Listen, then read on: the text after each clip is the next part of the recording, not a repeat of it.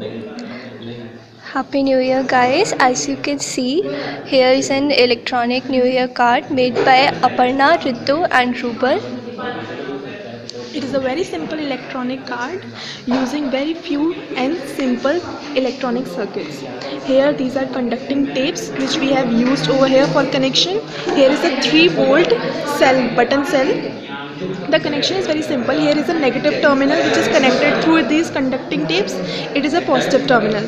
The negative conducting and positive conducting meets over a button cell the negative conducting is con- uh, connected to the negative side of button cell and positive conducting is connected towards the positive end of button cell Now you can see uh, when we'll press this green light, the headlights of the car will glow. This shows that the citizens are following traffic rules very sincerely.